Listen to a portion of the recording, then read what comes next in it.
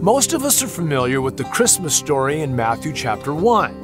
Mary is betrothed to Joseph, and yet she's found with child before they came together, and she's a virgin.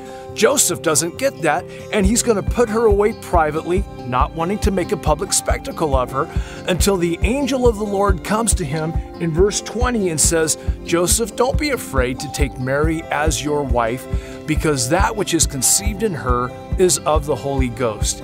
You know, this is a great time of year to open your heart to the Lord and allow Him to birth something in you even if other people don't understand it. Other people may not get it, but you'll know that God is doing something in you, and that will be a very Merry Christmas indeed, and that's the truth.